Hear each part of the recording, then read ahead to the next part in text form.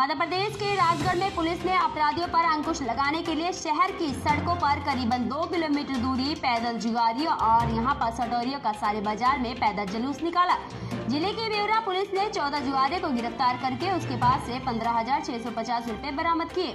जहाँ पर आपको बताया चले की ब्यौरा थाना क्षेत्र के यहाँ पर आरोपियों की हथकड़ी लगाकर पैदल जुलूस और पुलिस की मौजूदगी में निकाला गया। करीबन डेढ़ किलोमीटर दूरी पैदल चलकर इन अपराधियों के पुलिस ने मेडिकल के लिए सिविल अस्पताल ले जाया गया, जहाँ पर इनका मेडिकल करवाने के पश्चात भी इन्हें न्यायालय में पेश किया गया।